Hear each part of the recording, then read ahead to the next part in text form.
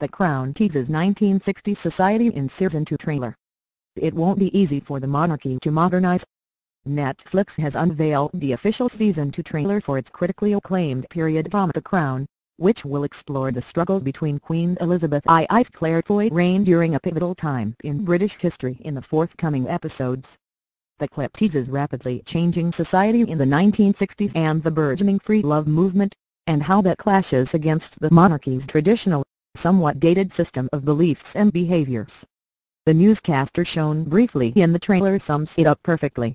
Britain has changed beyond recognition, and yet the monarchy continues its pre-war routines as if nothing has changed.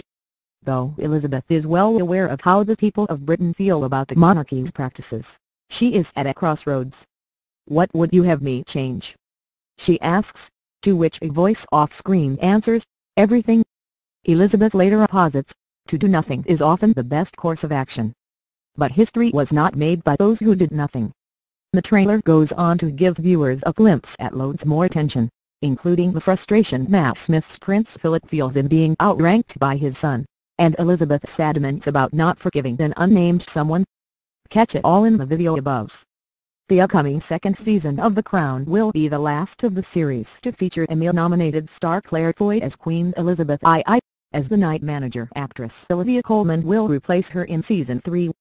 Joining Foy for season 2 are Vanessa Kirby as Princess Margaret, Jeremy Northam as Anthony Eden, Victoria Hamilton as the Queen Mother, Matthew Goode as Lord Snowdon, and Michael C. Hall as John F. Kennedy.